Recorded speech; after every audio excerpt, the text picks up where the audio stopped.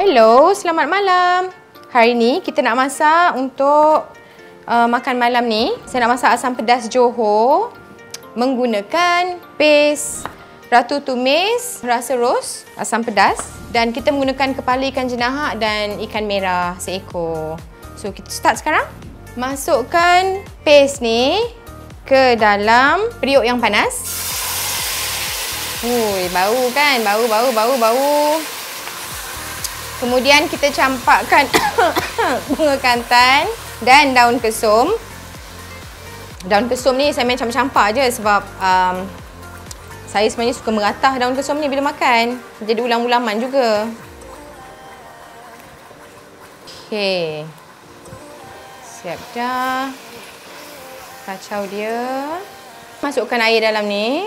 Jangan terlampau cair sangat sebab um, asam pedas Johor dia memang pekat. So kita tunggu dia mendidih sebentar. Masukkan mungkin sedikit garam lagi ya.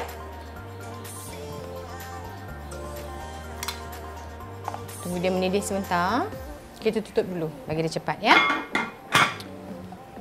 Mari kita tengok dah mendidih dah dia.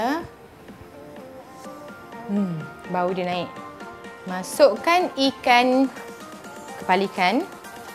Okey, yang ini kamera. Okey. Bila kita dah masukkan tu, jangan kacau beria sangat. Dia kena macam manja-manja je macam dia. Tunggu selama 2 minit. Huh. Di waktu-waktu hujan, malam-malam ni kita makan asam pedas. Masukkan pula dah tomat. To nak letak bende pun boleh juga. Ada orang suka letak bende, kan? Sikit saja lagi asam jawa. Dua sudu kecil siap sudah. Okey, dah boleh tutup api dah. Boleh hidang.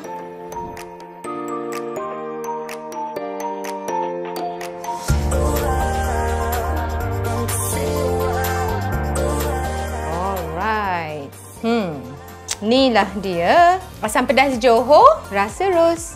Selamat mencuba.